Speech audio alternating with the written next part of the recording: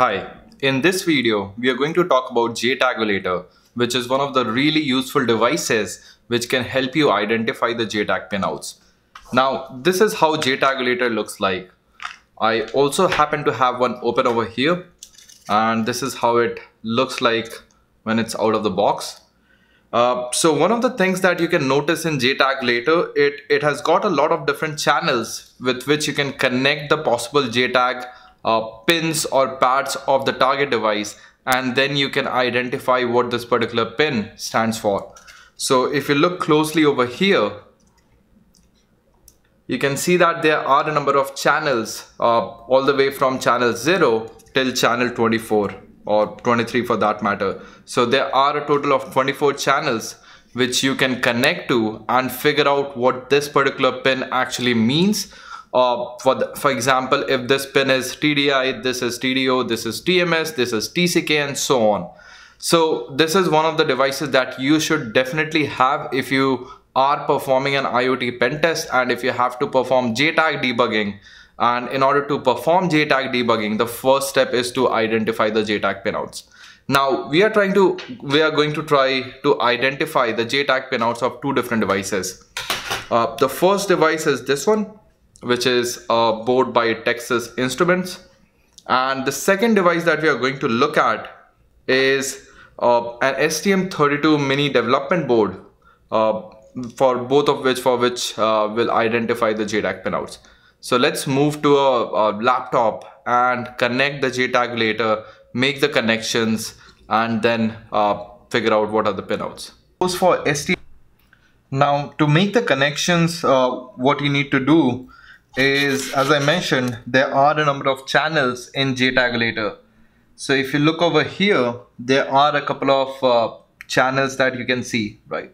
So these are different channels, uh, starting from channel 0 till channel 7, uh, from channel 8 till channel, channel 15, and channel 16 till the channel 23. Now, in our case, uh, we'll just take four uh, jumpers, which in this case are female to female jumpers and what we'll do is we'll simply connect uh, the four possible JTAG pins on this particular device which is the one by Texas Instruments to the four channels over here also connecting the ground to ground and then uh, connecting these to the system. The same goes 32. Uh, so in this case we know that there are uh, four possible JTAG pinouts uh, I, I, guess A15, B3, CLK and IO. So let's go ahead and make the connections. So this is where uh, CLK and IO part. So let's connect to, to over here. So, and also connect these to the two channels over here. So first goes to the channel 0 and the next goes to channel 1. And as you can imagine, uh, the uh, order does not matter because that's what we're trying to identify as in which particular pin stands for what in the rack. Next we'll connect uh, the A15 and B3. So A15 is right over here. Notice, I'm not sure how uh, this will be, but uh, these are the A15 and B3. Um, so this one connect this to channel 2. Also make sure not to connect the BDJ. Uh, I need two more jumpers. The next one goes to B3, which is over here. And this goes to channel 3. And finally, the last one is ground. So this is ground. And this goes to ground over here. So this is all the connections that uh, needs to be made. Now let's jump to the laptop and uh, connect this one with a mini USB cable and also connect the STM32 with a micro cable and plug both of these to your system. So the JTAGulator needs to be connected to the system and the STM32 just needs to be powered on. So it does not matter whether you power it on through an external source or another laptop or the same laptop. So now we have uh, the JTAGulator plugged into our system as well as uh, we have the STM32 development board powered on. So if you do a ls slash dev slash tty uh, dot USB serial in this case, uh, in case you're on Linux, uh, it would be something like slash dev slash tty USB 0. And once you have the device connected to your host system or the virtual machine, you can simply do a sudo screen uh, followed by this device ID over here followed by the baud rate which in this case is 115200 uh, right over here. So as you can see we have the JTAGulator prompt now. If we hit H uh, we see the entire JTAG options.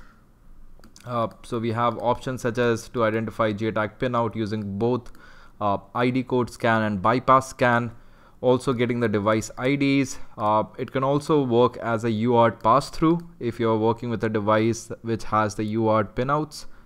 Uh, you can set the target voltage uh, and so on and so forth.